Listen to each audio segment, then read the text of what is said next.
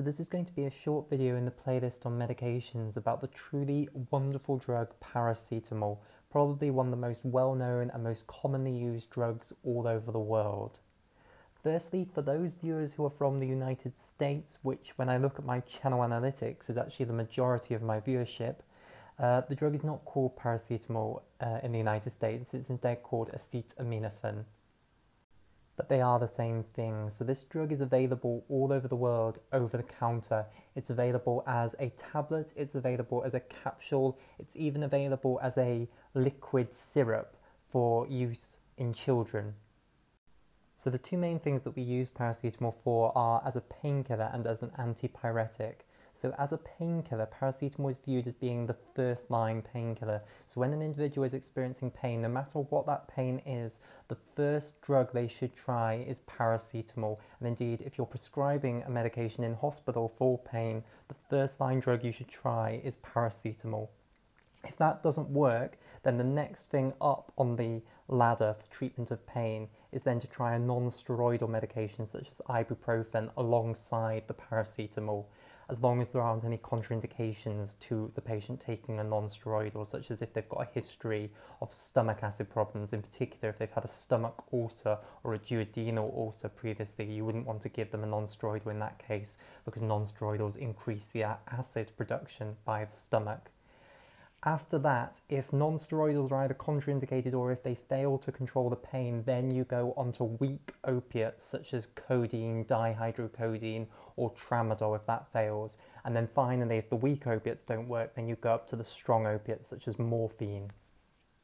Paracetamol is usually a very effective painkiller. In hospitals as well, we have the advantage that we can give it intravenously, and intravenously it's slightly stronger than when it's given orally. So the other major use of paracetamol is as an antipyretic. So what does this word mean? Well, pyrexia means fever, so antipyretic literally means anti-fever. So when someone's quite unwell with an infection, let's say they've got a bad case of the flu, so a bad viral upper respiratory tract infection, they're going to be coughing a lot, bringing up a lot of phlegm, feeling very unwell.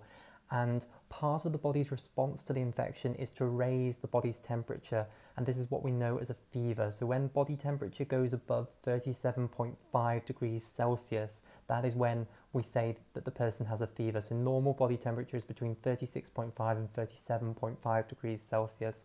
So when you've got a temperature above 37.5, we call that a fever. If it's above 38, that's when we call it a proper fever. You know, if it's just 37.6, that's a very mild fever. Whereas if it's above 38, you know, that's a good going fever. Now, the fever often makes people feel very unwell. It makes them feel tired, worn out, low mood. There's a fancy name for this in medicine. So, when someone is suffering from an infection and they're feeling really unwell, we call that malaise. It's the word meaning the unwell feeling that someone experiences. So, giving paracetamol and lowering the body temperature with paracetamol, it's extremely effective at doing this. Usually if someone has got a fever, let's say 38.7, if you give them paracetamol, usually it will bring it back down to normal temperature. And normally when you do that, it makes the individual feel much better. So it helps greatly with this malaise feeling that individuals get when they're suffering from an infection. So let's now talk about the dosing of paracetamol. So I've written up here the dosing of paracetamol for adult patients. If I was giving paracetamol to a child, and occasionally I do prescribe paracetamol to a child, I work currently in orthopedics, so we do sometimes get pediatric admissions. So I do sometimes prescribe paracetamol for children. Whenever I do that, I always get up the pediatric BNF, which tells you exactly uh, how much to give based on the child's age. So I don't know that off the top of my head. I always look it up, and indeed, I would say that that's what I do for prescribing any medication whatsoever to a child. I would always get up the pediatric BNF and look up the doses. I don't know them off the top of my head because I'm not a pediatrician. But for an adult, the dosing is very simple. It depends on body weight and the threshold is 50 kilograms. So most adults are over 50 kilograms and therefore the dose that they can take of paracetamol is one gram up to four times a day to make a total daily dose, maximum total daily dose of four grams. Now, the main way that we give paracetamol is as oral tablets or you can have oral capsules. And those tablets or capsules usually contain 500 milligrams of paracetamol, and therefore we'd be looking at giving them two of the tablets or capsules of paracetamol, and they can have that up to four times a day.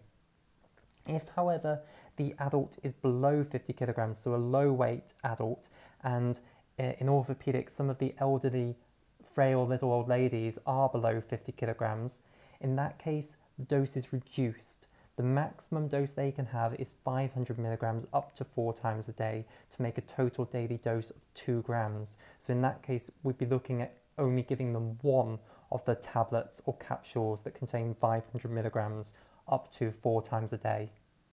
In hospital, we can give intravenous paracetamol. As I said earlier, it's slightly more effective than the oral paracetamol. In addition, if the individual isn't able to take oral tablets, maybe because they're currently extremely confused because they're suffering from a very bad infection and are delirious, or if they've got problems with swallow, such as maybe they've just had a stroke, if for some reason they're not able to take the oral tablet, that would be another reason why we'd give intravenous paracetamol and the dosing is exactly the same. So if they're above 50 kilograms, they can have one gram of intravenous paracetamol up to four times a day. If they're below 50 kilograms, uh, then the maximum dose is 500 milligrams of intravenous paracetamol up to four times a day. Finally, as I mentioned previously, there is a liquid formulation of paracetamol. This is a syrup, really. The drug is mixed with a huge amount of sugar or at least some sort of sweetener to make it taste delicious. Uh, and this is often used in pediatrics, so the children don't like swallowing the big paracetamol tablets, so we give them this liquid syrup with paracetamol in. And the classic brand name for this is Calpol, at least in the UK. The classic brand name for it is Calpol. Uh, we also sometimes use this, this in adults as well, so if we have adults who aren't able to swallow the tablets but would be able to swallow the liquid syrup, then we would use it in that case as well.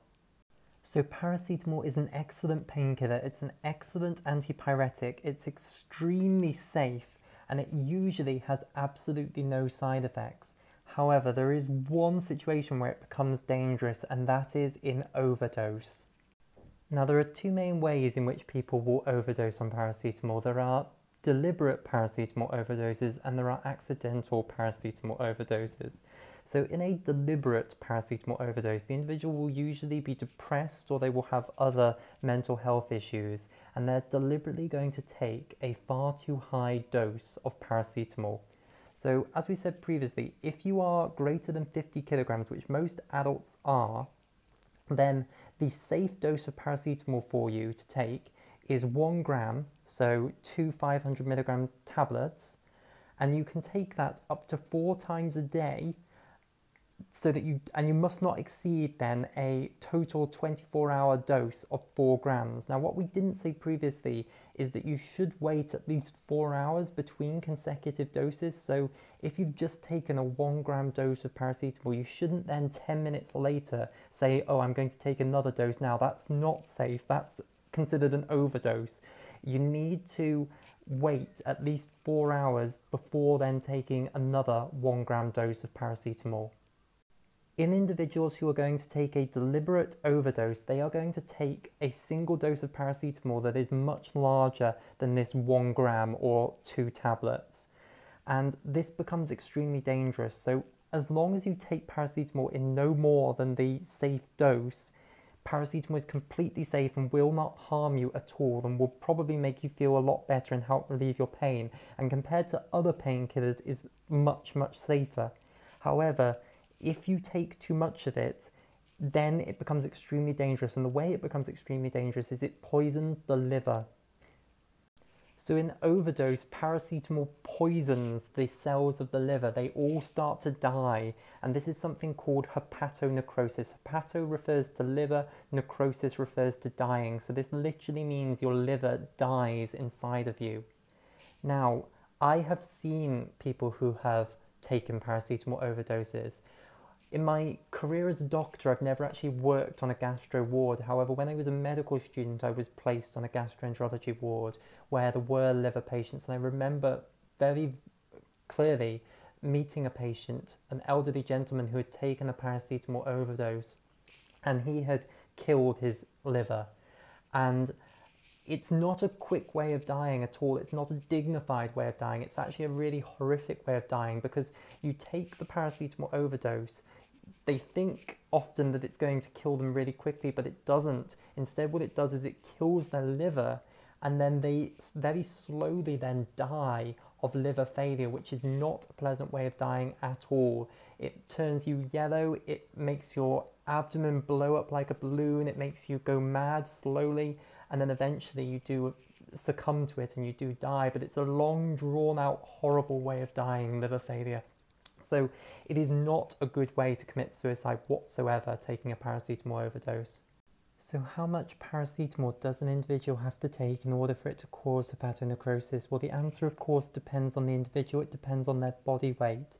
So if you have an individual with a very low body weight, the amount of paracetamol it will take will be much lower. Whereas if you have an individual with a high body weight, it will take a greater amount of paracetamol to cause hepatonecrosis. But as a basic rule for adults, I have two thresholds of concern. So my first threshold is if an individual has taken greater than 10 tablets of paracetamol. So remember the tablets contain 500 milligrams of paracetamol. So if they've taken 10 of them in one dose, they've taken a total dose in excess of 5 grams of paracetamol. So that would be my first threshold for concern. I'd be concerned that they are going to damage their liver if they've taken a dose above 10 tablets. My second threshold for concern, which is a threshold for extreme concern, is if they've taken more than 20 tablets of paracetamol. So 20 is a total dose of 10 grams of paracetamol. If they've taken a dose of that or even higher, then their chance of getting severe liver damage from this is extremely high if we don't do something. So what can we do to help people who have taken paracetamol overdoses? Well, there is actually an antidote to paracetamol. There is something called N-acetylcysteine, NAC for short, and this is something that actually protects the liver from the poisonous effects of the paracetamol. So if you give this quick enough, you can spare their liver from the poisoning that the paracetamol overdose is going to cause. So normally when people have taken an overdose of paracetamol, we give them this intravenously. We give them an infusion containing this, which often lasts for uh, many hours. So if given quickly enough, N-acetylcysteine is usually very effective at protecting the liver from permanent damage from the paracetamol overdose. And it itself is actually an extremely safe drug. We do sometimes prescribe this orally to people with chronic lung conditions as a mucolytic. So an example would be in people with COPD, which is a condition that you get if you smoke for many, many years. So let's say we've got a 70 year old gentleman who has smoked for the past 50 years and has developed COPD. One of the components of the COPD disease is that their airways are damaged by the chronic inhalation of the cigarette smoke and they've become thickened and they produce far too much mucus. So people with COPD end up having a chronic cough that brings up all this mucus that their damaged airways are producing. And often they can find it quite difficult to clear this mucus, especially if it's very thick. So we prescribe the medicines that make the mucus thinner. These are called mucolytic medicines, and N-acetylcysteine is actually one of these medicines. It's a mucolytic. So occasionally we do prescribe that to people with COPD to help thin their mucus. It's got a brother which is carbocisteine, which is more commonly prescribed, but N-acetylcysteine is an alternative to carbocisteine. And you can also, if you would like, buy this from um, as a health supplement from health supplement stores. So if you go actually even onto Amazon, you can buy N-acetylcysteine health supplements. If you haven't got a problem with bringing up thick mucus that needs a mucolytic, I don't think necessarily that it will do you any good, but it might interest you to know that it is available as a health supplement that you can buy online. Besides deliberate overdoses of paracetamol, there are many ways in which individuals can accidentally overdose on paracetamol. So I'll give you a few examples of these. So one example is if a child comes across a bottle of Calpol. The Calpol tastes very nice, so the child might drink lots of the Calpol because they like the taste of it, and they've then accidentally taken an overdose of paracetamol. Another example would be if an adult say, gets the flu and goes to the supermarket and buys multiple over the counter remedies for flu, it might be the case that multiple of these different remedies that they've bought contain paracetamol. And if they don't know that much about medicine, they might think that they can take both of those at the same time.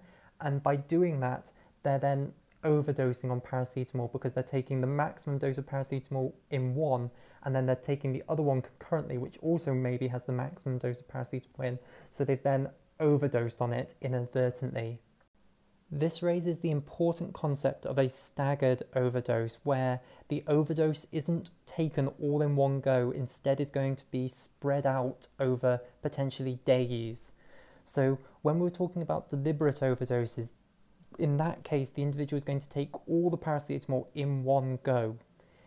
If we're talking about accidental overdoses, often these are staggered overdoses. So, looking at the example that we've just seen of the individual who's gone to the supermarket and bought two remedies, both of which contain paracetamol, the individual might be taking each of those exactly as it says on the box. However, because both of them contain paracetamol and they're taking both of them concurrently, they may therefore be taking a dose of 2 grams of paracetamol four times a day to make a total dose of 8 grams of paracetamol. Now, if they do this for several days, they're going to be gradually building up the level of paracetamol in their blood to the point that it can then become toxic. This is the concept of a staggered overdose, and I hope you can understand how that's different to the way in which uh, it happens in a deliberate overdose, where it's all taken in one go. Very quickly, the level of paracetamol in the blood gets to above a toxic level and is going to damage the liver. In a staggered overdose, it's going to be that they're gradually taking a little bit too much and then the level is building up gradually in their blood until it gets to a toxic level.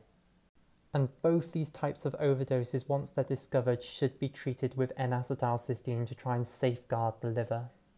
So we'll end the video there. Thank you for watching. Overall, this is an extremely safe and effective medicine as long as you take it in the safe doses.